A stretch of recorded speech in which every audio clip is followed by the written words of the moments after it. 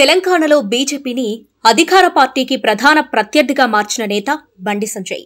రెండు వేల పంతొమ్మిది ఎన్నికల్లో కరీంనగర్ ఎంపీగా గెలిచే నాటికి ఆయన గురించి తెలంగాణ బీజేపీ నాయకులకే పెద్దగా తెలియదు. భారతీయ జనతా పార్టీ రాష్ట్ర అధ్యక్షుడిగా నియమితులైన తర్వాత పార్టీ స్వరూపాన్ని పూర్తిగా మార్చేశారు. తెలంగాణలో బలమైన పార్టీలుగా చెప్పుకునే కాంగ్రెస్ తెలుగుదేశం కేసీఆర్ ప్రభంజనం ముందు నిలబడలేని పరిస్థితులున్న సమయం.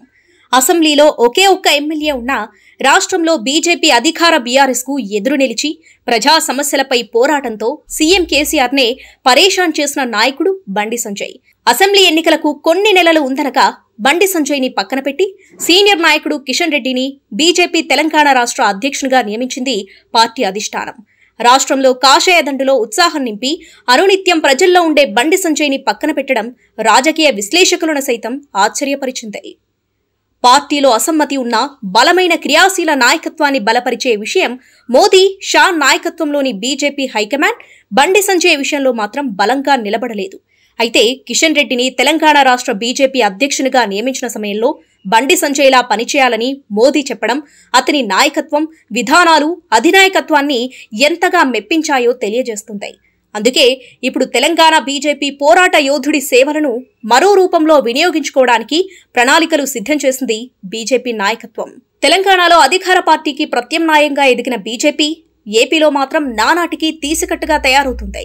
గత ఎన్నికల్లో నోటా కంటే తక్కువ ఓట్లు తెచ్చుకున్న పార్టీ రాబోయే ఎన్నికల్లో అంతకంటే గొప్ప ప్రదర్శన చేస్తుందనే నమ్మకం ఏపీ బీజేపీ నేతల్లోనే లేదు. ఈ మధ్యే పార్టీ రాష్ట్ర అధ్యక్షుడు సోము వీర్రాజు స్థానంలో దగ్గుబాటి పురంధేశ్వరిని నియమించింది బీజేపీ హైకమాండ్. ఇప్పుడు అదే ఊపులో పార్టీ రాష్ట్ర ఇన్ఛార్జిగా తెలంగాణ నాయకుడు బండి సంజయ్ని నియమించే అవకాశం ఉందనే వార్తలు వినిపిస్తున్నాయి. తెలంగాణలో బీజేపీని పరుగులు పెట్టించిన బండి సంజయ్ ఏపీ వ్యవహారాల ఇన్ఛార్జిగా నియమితులైతే ఆ రాష్ట్రంలోనూ బీజేపీ పరిస్థితి మెరుగుపడుతుందని పార్టీ నాయకత్వం భావిస్తుంది. బండి సంజయ్ అప్పుడే ఏపీ బీజేపీని గాడిలో పెట్టడానికి రంగంలోకి దిగినట్లు కనిపిస్తోంది. వైసీపీ ప్రభుత్వం టీటీడీ చైర్మన్గా భూమణ భూమన కరుణాకర్ రెడ్డిని నియమించడాన్ని సంజయ్ తీవ్రంగా విమర్శించారు. ఏపీలో వైసీపీ అధికారంలోకి వచ్చాక హిందూ దేవాలయాలపై జరుగుతున్న దాడుల విషయంలో ప్రభుత్వం వ్యవహరిస్తున్న తీరుపై బీజేపీ అనేకసార్లు ఉద్యమించింది. ఇప్పుడు తిరుమల తిరుపతి దేవస్థానం విషయంలో మరోసారి జగన్ సర్కార్కి ఎదురెళ్ళడానికి సిద్ధమైంది కాషేదంటూ బండి సంజయ్ ఏపీ బీజేపీ వ్యవహారాల ఇన్ఛార్జిగా నియమితులైతే పార్టీకి కొత్త ఉత్సాహం వస్తుందనడంలో సందేహం లేదు.